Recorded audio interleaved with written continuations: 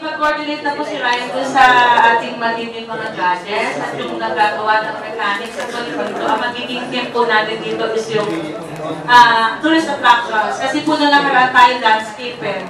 Ang concept natin landscape uh, photo competition which is nanalo nga yung Kumbaga, yung mga nanalo natin dito, inilaban natin sa Mimaropa Festival, which is like Grand Champion. So, nakakalaman po na dinili natin tutuloy ito for the third time. At ito po, meron na silang pinalabas na, na guidelines. Ipa-finalize na po natin uh, together with the prices kung magkano po. Ayun. So, okay naman po going na rin po ito. At makikita lang po yung post namin sa Facebook, sa ating website kung magiging magmamaterialize na po website para doon sa mga willing na sumali dito sa photo contest.